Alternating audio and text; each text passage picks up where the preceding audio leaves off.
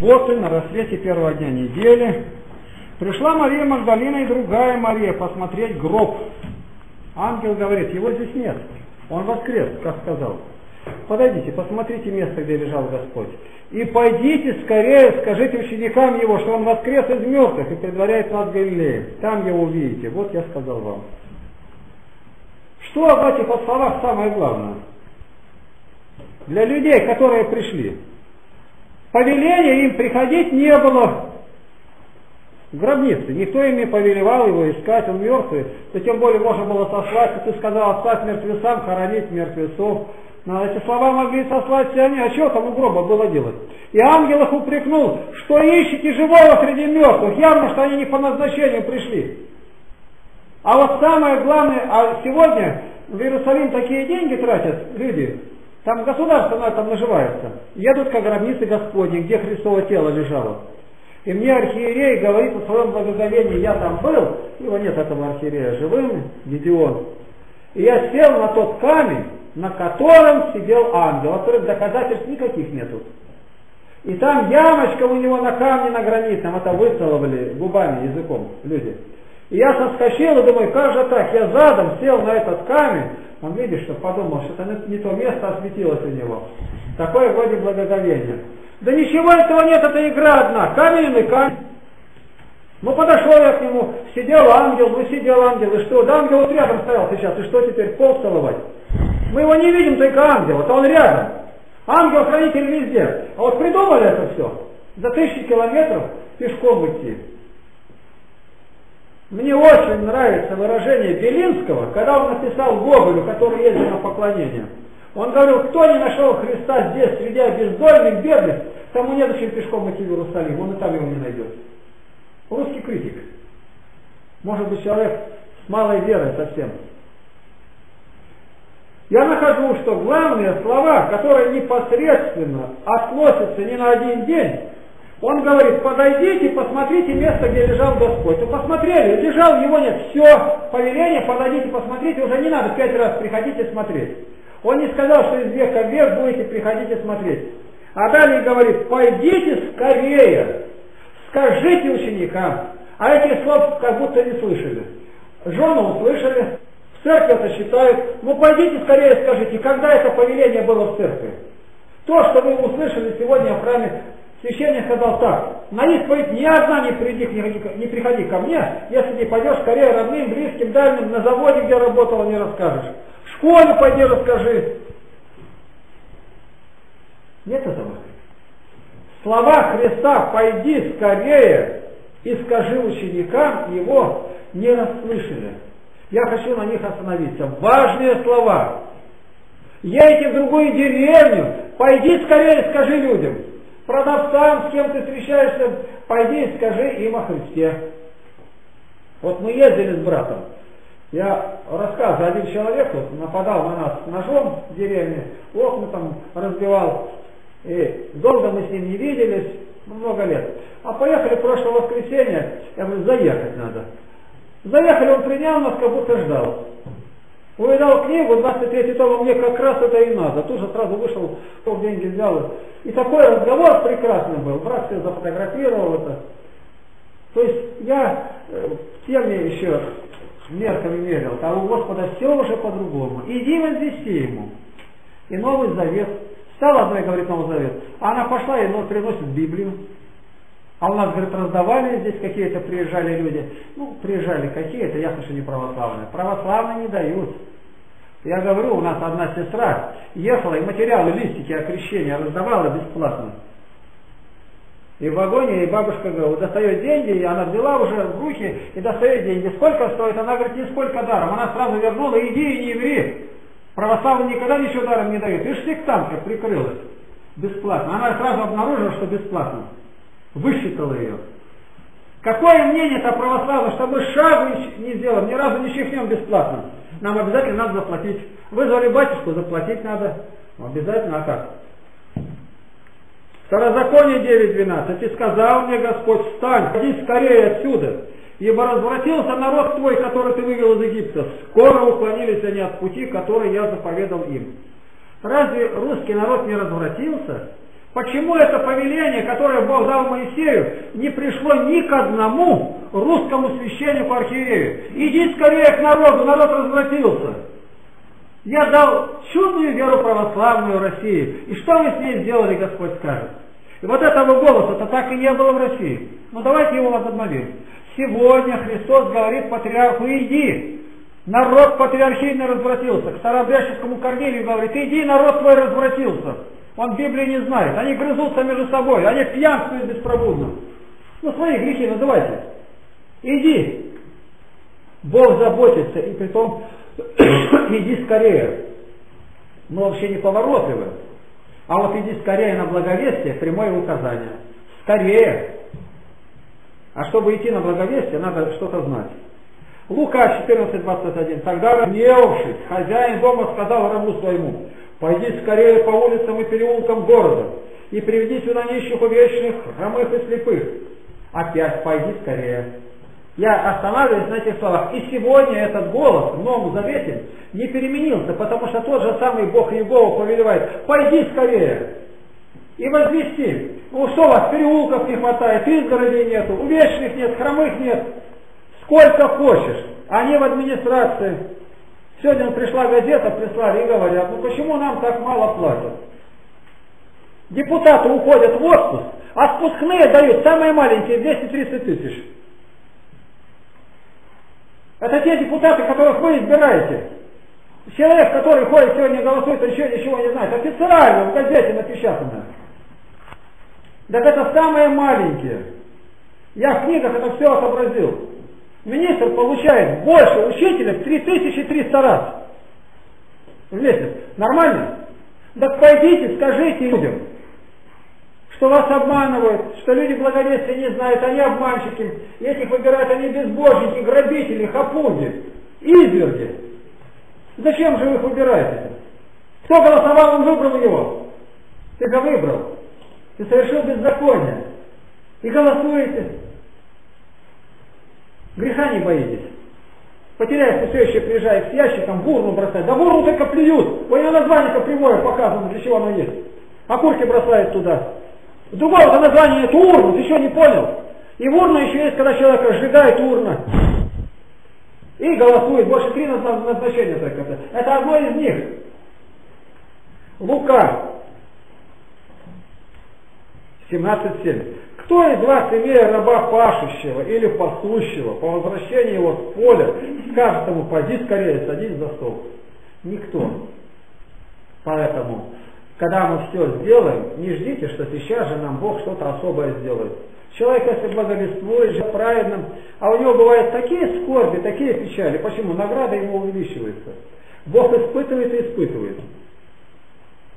Я вот вам говорю, а я больше не проверяю, по домам не хожу, ну, чтобы вас проверить. Вы записывайте себе, когда вы говорили последний раз кому когда шли по изгородям, кого искали, как свидетельствовать, тем более у нас сейчас столько литературы. У нас есть Новые Заветы, пока никто не, даже никто не пришел. Новые Заветы и Евангелие от Иоанна я привез.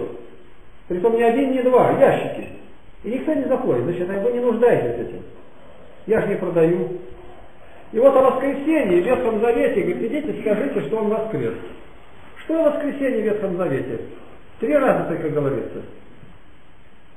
В неканонических книгах 5 раз, в Новом Завете 133. Разница есть? То есть у нас религия воскресения. Вы знаете, где у нас воскресенье слово встречается? И мы его, это воскресенье, повторяем и не понимаем. Анастасия. Перевод воскресенья. Настя, это воскресенье. И когда ты ее зовешь Настя, ты все время говоришь воскресенье, иди сюда. Воскресенье, иди туда. Когда Павел в воскресенье говорил о воскресении Христе, ему сказали какие-то новые божества. Они поняли, Анастасия это новое божество какое-то. Ну посмотрите в календаре, написано там, перевод ее. То есть у нас воскресенье среди нас. И мы даже этого не хотим понять, уже забыли, ой, неужели так? Да так. Вот что в воскресенье мы считаем. Матфея 11.5. Слепые прозревают, хромые ходят, прокаженные ощущаются и глухие слышат, мертвые воскресают и нищие благовествуют. Вот я стал смотреть по порядку. Слепые прозревают, слепые вдруг глаза открылись. Конечно, это не, не из мертвых воскрес. И как, если считать это восходящей степени, хромые ходят, удивительно, кости срослись, прокаженно ощущается, спидовские выходят. Дальше мертвый воскрес и еще благовествует. Там все еще благовествует. Ли это выше всего, или недости, недостижимо было, что нищие благовествуют, не попы, не архиереи, а нищие. Скажите, нищие благовествуют. А как они благовествуют? А мы сейчас слышали. Сидите в Иерусалиме, не отлучайтесь, доколе не обречете силой свыше, а Духа Святого, и будете мне свидетелями. Если никуда не идешь, это доказательство, что Дух Святой на тебя не сходил. А кто Духа Христова не имеет, тот не его. Понимаете, тут прямая связь. Если ты никому не говоришь, ты сам подумай, что ты. Так я на одной и той же работе работаю. Ну и что? На одной работе и каждый день ты можешь говорить о Христе. Определенная душа какая-то по кабинету с начальником. Тебя никогда не гнали, значит ты не, не показал Христа. Если по-настоящему будешь говорить о Христе, обязательно тебя заметят. Где бы ты ни был. Вот от нас сейчас поехала сестра, вот, в лагере работала. И она только села и начала благовествовать. Он какой-то не русский оказался, новосибирский автобус. И она до самого обогнула, как одна минута, говорит, я ему благовествовал, там что-то дала, видимо, Евангелие. И он с нее деньги даже не взял. Так это ехало. Я с одной сестрой поговорил, она на Сибирь с дочерью поехала. Я, говорю, никого нет, подошла к шоферу и стала говорить. И мы всю дорогу с ним проговорили, он меня от себя не отпускал. Я, говорит, почувствовал вкус проповеди. Она, говорит, никогда не говорила. Я ходила в храм и все время думал, что только два Евангелия. А их, оказывается, четыре. Никто ничего не знает. Деяние 4.2. Они учат народ и проповедуют в Иисусе воскресение из мертвых. В Иисусе воскресение из мертвых это считалось уголовным преступлением. Воскресение от Бога Иеговы. А тут вдруг в Иисусе Христе. Вы всегда говорите, Иисус воскрес, и нас воскресит. Я когда с ней беседовал, я говорил, скажите, вот пятница, почему называется четверг, пятница? Ну, четвертый день, пятый, да сам корень. А суббота ни один объяснил, ни разу. Воскресенье еще хоть несколько человек скажет. Воскресенье Христос воскрес. А субботу никто не может объяснить. Суббота, а ты скажи, это шаббат, означает покой. Покой, дарованный Богом. Покой, который мы получили во Христе вечную субботу. Деяние 17.32. Услышав воскресение мертвых, они насмехались одни. Вот здесь как раз они и подумали, что Анастасия это особое божество. А у них были и богини. Боги были и богини. Венера, Диана, не только Марс и Юпитер. Римляна 6.5. Ибо если мы соединены с Ним подобием смерти Его, то есть нас гонит, убивает за Христа, то должны быть соединены и подобием воскресения. Отсюда вывод, если мы не соединены со Христом подобием Его смерти, за правду нас не гонят, то подобие воскресения вряд ли будет. Понимаете, как простым выводы можно делать. Меня за Слово Божие гонят или нет? Вот я по правде говорю. Я, бы, я хочу быть мирным, я никому не хочу лезть, но вижу, неправильно поступает. Я думаю, я сейчас пойду, скажу брату, а он на меня разжится. Подумаю, похожу, нет, пойду. Второй брат скажет, так ты его хотел разлить? Нет. Я боялся, чтобы не остаться виновным, что я ему ничего не сказал. А когда я ему сказал, а он не послушал, я свободен. Кровь его на его голове будет. Вот еще что нужно знать. Ты просто обязан, как христианин. Римляна 6.5. И 1 Коринфянам 15.32. Когда я боролся со зверями в Ефесе, какая мне польза, если мертвого не воскресает? Станем есть и пить, ибо завтра умрем. Вы себя ведете так, почему вот у меня в лагере? Потому что не верите в воскресение из мертвых. Вы своих детей спросите, когда дети последний раз, даже коров пасут, когда они склонялись сами молиться, они на поле? Когда они руки простирали к Богу? Когда? Когда ребенок подошел к родителям и призвал на молитву? Это вы их зовете. А наоборот. Проверять легко. И вы видите, дети не духовные. Если ребенок зовет на молитву, это очень важный момент. Ефесянам 2.6. «И воскресил с Ним, и посадил в небесах во Христе Иисусе». Когда мы уверуем во Христа, Его примем в нашу жизнь, в сердце будем крепко веровать в Него, это означает, что Он нас посадил на небеса. А когда уверовал, посадили в тюрьму. Нет, я не на нары посажен, я на небесах сижу. Надо научиться смотреть дальше. Когда мне приговор вынесли в суде, судья сразу, ну вы поняли, что я говорю, понял. Два раза шагну и на той стороне. Я говорю, как с пророком Ильей на колеснице все это пролечу. Вот такое Бог дает внутреннее переживание, что лучшего момента в моей жизни никогда не наступит. Я бы сегодня ну, хотел пойти пострадать за Христа. Мне очень хочется засвидетельствовать преступникам. Никто не берет. Жди своего момента. Ефесянам 5.14 сказано, стань спящим и воскресни из мертвых, и осветит тебя Христос. То есть страшное состояние, когда человек спит. Спит духовно и телесно, когда лишнее спит. Со сном надо бороться. Вот у меня э, фотографы были здесь, приезжали, которые уже поступили снимки. Картина очень интересная. Видимо, я говорю, проповедь, меня не видно. Все до одного сидят, а одна душа стоит. Кому больше 80 лет. На воскресенье та же самая история. Другие люди точно так, все до одного, старые и малые сидят, одна душа стоит. Я-то помещу в книгах. Пусть весь мир знает, как православные боятся Бога, любят Бога, как стараются. Я упаду, но не сяду. Я для Бога это делаю. Понимаете? Я стою и думаю, Господи, дай мне сил не упасть. Иногда так болит сердце, что я не могу даже крючок закрыть одной рукой. Стою, стою, не знаю, хоть ртом закрывать. Но что не знал. А на благовестие позову, думаю, побегу в эту же ночь. Филиппийцам 3.10. Чтобы познать Его и силу воскресения Его и участие в страданиях Его, сообразуясь смерти Его. Христа распяли, другого я не ожидаю. Что бы ни было, Господи, только не отрить. Ребятишек своих приготавливайте страдания за Христа. Вот меня просят иногда родители написать на ребенка, который был в лагере, характеристику. Пишу. Тоже просят на одного. Я обращаюсь к воспитателям. Ни один ничего не может написать. Я могу написать. Самая краткая характеристика. И она будет выражаться так. Плотской, точка. Страха Божия не имеет, точка. В лагерь приезжать не отказано. Точка. И роспись. Ничего нет, плотской. А плотские характеристики я не пишу. Это ну, в, любом месте. Любого хулигана возьми, он тебе то же самое выдаст. Я ничего не могу написать. А ребенок, который стремится, молится, я о нем могу написать, как он на молитве ведет, как разговаривает, реагирует, как где посторонние люди, то есть как к уставу относятся. У меня есть что о нем сказать, как он заботится.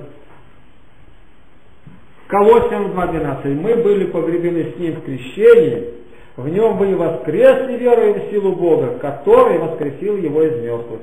Верим ли мы в воскресение из мертвых? Павел говорит людям, обращаясь к колоссянам, он воскресил нас.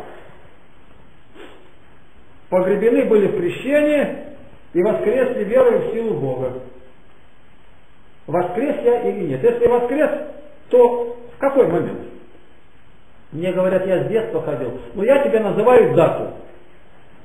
27 сентября 1962 года в 17.00.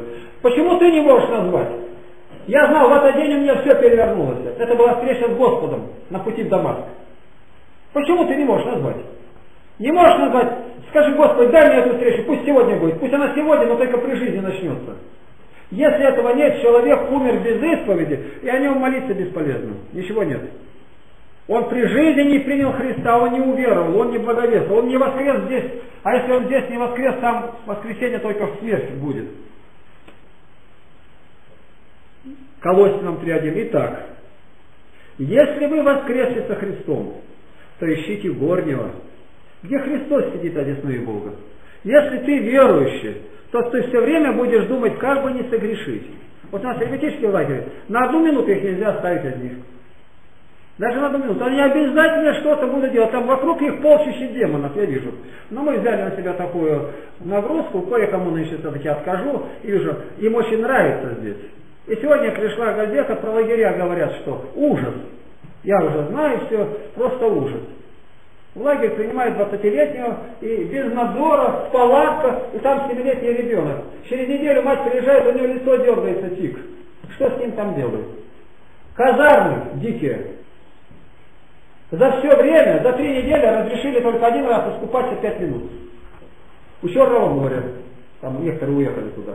У Черного моря. Понятно? 23 тысячи путевка. Очень дешевая написано, очень дешевая. Ровно в 10 раз дороже нашей. Наших-то воспитателей нигде не найдут. У нас работает бесплатно, а там, говорят, за 3000 никто не хочет работать. Ну, кому это нужно? Практически круглосуточно. Значит, ищи горнего. Вот вы горнего не ищете, горе вам.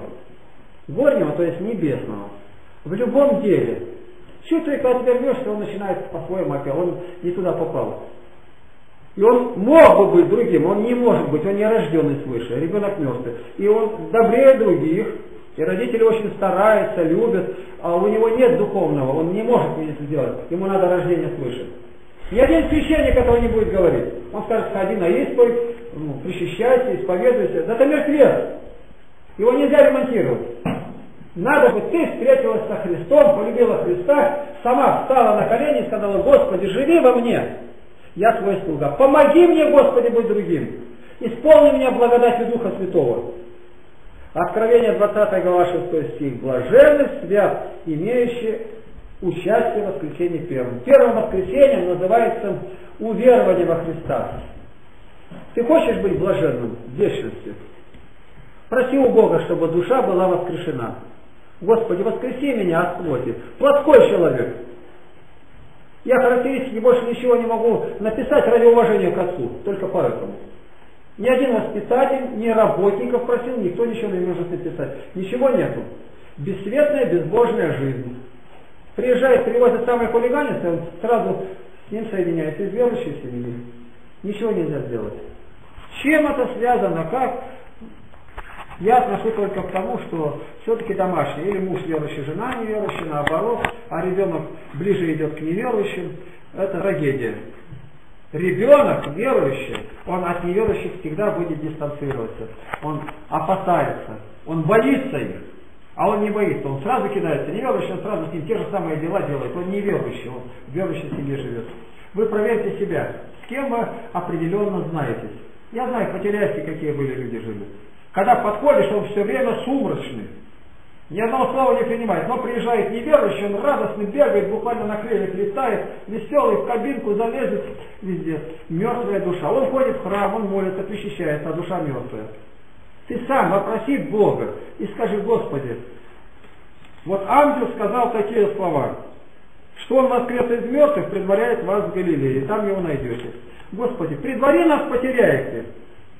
То есть раньше нас приди, я утром встану, а ты меня жди у дверей. А может он за, за дверями стоит и стучит, и кто отворит, войду к нему.